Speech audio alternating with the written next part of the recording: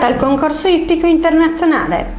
Per la prima volta Pinerolo non ospiterà più i consueti concorsi ippici nazionale e internazionale, questo è il risultato dopo il bando per la realizzazione della scuola di equitazione di Abbadia Alpina, che avrebbe dovuto ospitare i concorsi ippici.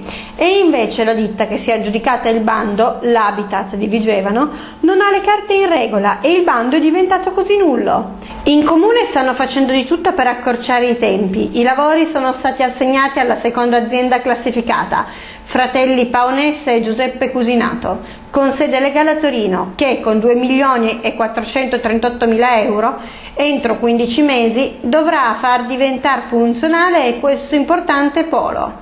Ma a questo punto servirà un miracolo per terminare i lavori in tempo ed ospitare così il concorso ippico internazionale in programma per dicembre. Più probabile che i concorsi vengano spostati. Ruba 400 kg di rame arrestato.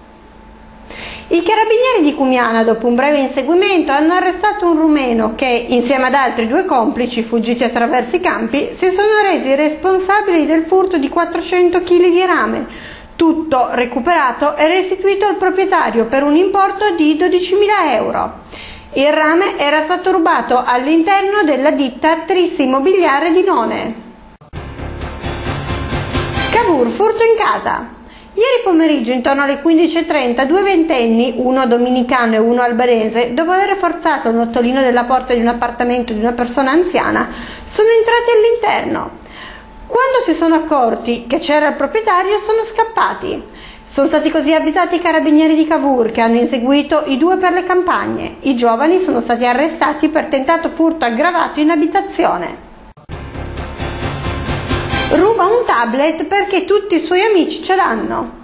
Ha rubato un tablet perché era l'unico della sua comitiva a non averlo, uno status symbol a cui non voleva rinunciare. E così ieri sera alle 21 in via Nizza a Torino all'interno di Saturn i carabinieri del nucleo radiomobile hanno arrestato un 19enne di None per rapina impropria e perché ha cercato di rubare un tablet del valore di 500 euro.